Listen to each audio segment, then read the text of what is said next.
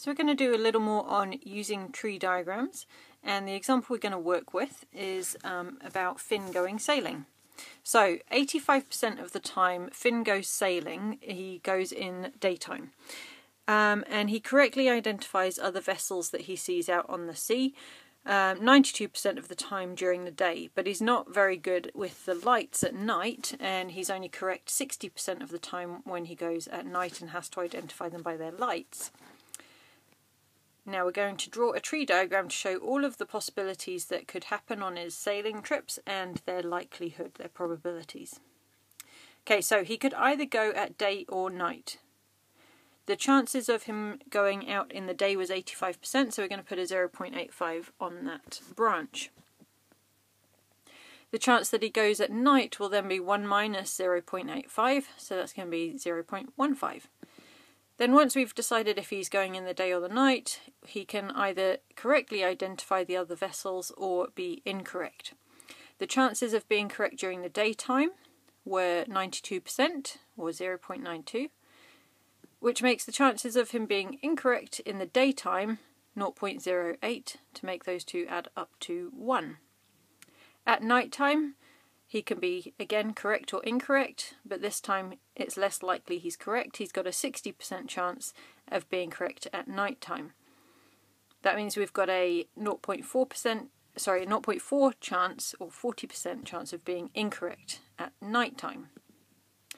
Okay, so along each of those branches, we can now find the probability of each thing happening. So this top one, if we're going to finish this tree diagram properly, we need to show the probabilities of each outcome. So this top one is the probability that he went um, in the daytime and was correct. So that and means we're going to multiply. Remember that from the last video. When you read across the branches, you multiply those things together. So he's got a 0.782 chance of his next trip being um, in the day and identifying things correctly. Then we've got this uh, next one is the probability of going in the day and being incorrect. Now notice that little dash on the C there. That is the probability notation for the opposite of the thing. So C represents correct, C dash is the opposite of correct. So in this case it would be incorrect. Um, okay, so we've got the probability of that will be 0.85 times 0.08. And then you can see where this is going. The probability of going at night time and correctly identifying the other vessels is going to look like this. And finally, going at night time and incorrectly identifying the vessels will be this one. Okay, so what could we do with this? First of all, we need to check. If we've shown all of the possible outcomes, this should all add up to 1. This one does, so we're all good to go. Okay, so on a question, you might get something like this. On his next trip, What's the probability that Finn goes at night and correctly identifies the other vessels? Well, that's going to be this one. Nighttime and correctly identified. We've already worked that one out. We've done the uh, calculation above, so we can just write it down here. Okay, what about if he, on his next trip, he doesn't identify the vessels correctly?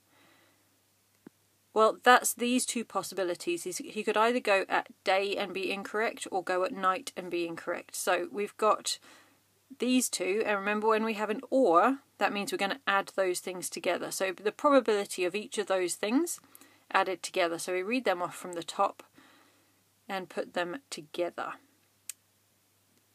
Okay, what about on his, if we think about this one, of his next 1,000 trips, how many of them would you expect him to be incorrect?